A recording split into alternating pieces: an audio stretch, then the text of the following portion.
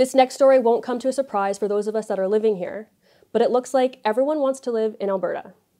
A new report from the Alberta Treasury Board suggests that Alberta is increasingly a desirable destination for Canadians struggling under a cost of living crisis. The report said that interprovincial immigration to Alberta has not been this high since 2014. That's the last time oil prices were over $100 per barrel. This story hits home for me because I was one of the people that moved to Alberta in the second quarter from Ontario. I know some of you told me at the time that I was another Ontario plant. But by and large, people have been very friendly since I've been here, and I think that's the experience for most newcomers.